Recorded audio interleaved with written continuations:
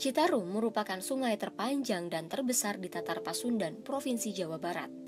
Pada tahun 2013, Green Cross Switzerland dan Blacksmith Institute menyatakan Sungai Citarum ada di posisi tiga tempat tercemar di dunia setelah Agbogloshi, gunung sampah elektronik di Ghana, dan Chernobyl, kota yang mati akibat radiasi nuklir di Rusia.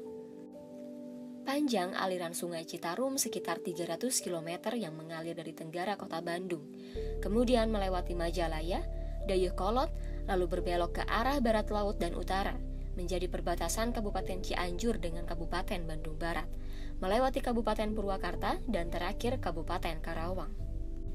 Sungai sepanjang 269 km ini diidentifikasi punya tiga masalah utama – di hulu sungai terdapat lahan kritis yang menyebabkan erosi tanah. Di sepanjang aliran muncul pengendapan yang menyebabkan banjir. Ditambah pencemaran kotoran ternak, sampah rumah tangga, dan limbah pabrik. Senyawa beracun pun muncul di daerah aliran Sungai Citarum yang berdampak buruk pada 35 juta orang di 13 kabupaten atau kota yang dilaluinya.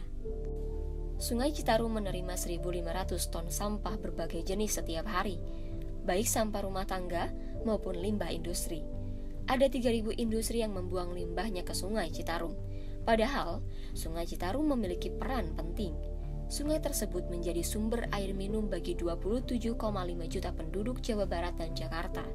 Sungai tersebut juga berperan mengairi 400.000 hektar lahan pertanian hingga Pemprov Jabar menerima hutang dari Bank Dunia sebesar 100 juta US dollar atau sekitar 1,4 triliun rupiah yang diresmikan dengan program Citarum Harum. Tentu kita semua berharap masalah sampah dan pencemaran Citarum bisa tuntas. Namun menyelesaikan masalah Citarum dengan menerima hutang jelas berbahaya.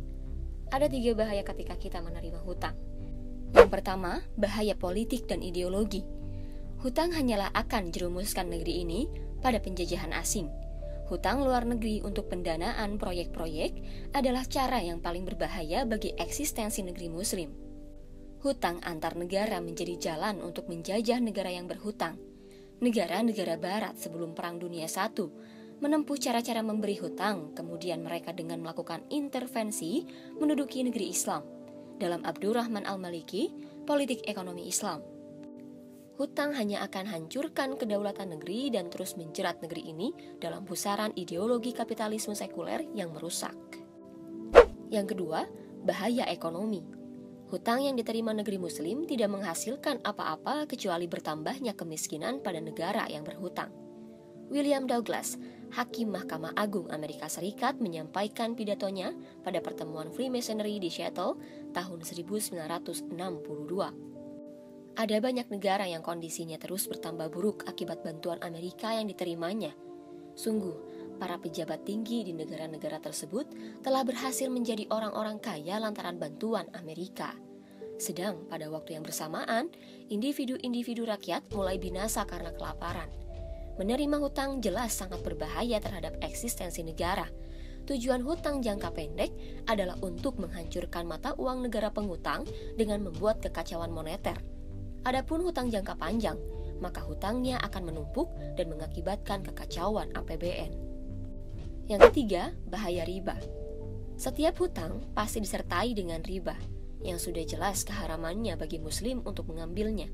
Allah berfirman, Orang-orang yang makan atau mengambil riba tidak dapat berdiri melainkan seperti berdirinya orang yang kemasukan syaiton lantaran tekanan penyakit gila. Keadaan mereka yang demikian itu adalah disebabkan mereka berkata atau berpendapat, sesungguhnya jual beli itu sama dengan riba.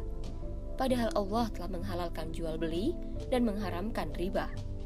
Orang-orang yang telah sampai kepadanya larangan dari Tuhannya, lalu terus berhenti dari mengambil riba, maka baginya apa yang telah diambilnya dahulu sebelum datang larangan, dan urusannya terserah kepada Allah. Orang yang kembali mengambil riba, maka orang itu adalah penghuni-penghuni neraka. Mereka kekal di dalamnya. Quran Surat Al-Baqarah ayat 275 Dampak kesalahan konsep keuangan dengan melanggar aturan Allah Subhanahu wa Ta'ala bisa kita lihat dari limbungnya ekonomi, krisis finansial siklik, dan ketidakadilan ekonomi. Masalah pencemaran Citarum hanyalah satu dari sekian banyak masalah lainnya akibat penerapan kapitalisme sekuler. yang terbukti kegagalannya dalam pengelolaan sampah dan limbah hingga berujung pada penderitaan rakyat. Hutang menjadi ciri khas kapitalisme dalam menjebak negara dunia agar terperangkap terus berada di bawah cengkeraman ideologinya. Umat Islam butuh perisai untuk menyelesaikan berbagai masalah ini, yaitu hanya dengan tegaknya khilafah. Khilafah dengan sistem ekonominya akan membiayai kebutuhan keuangan pembangunan tanpa jeratan hutang. Dibutuhkan lompatan ekonomi bagi Indonesia untuk bisa terbebas dari jerat hutang. Dengan pola kebijakan fiskal yang sangat berbeda dengan konsep yang sedang berjalan saat ini.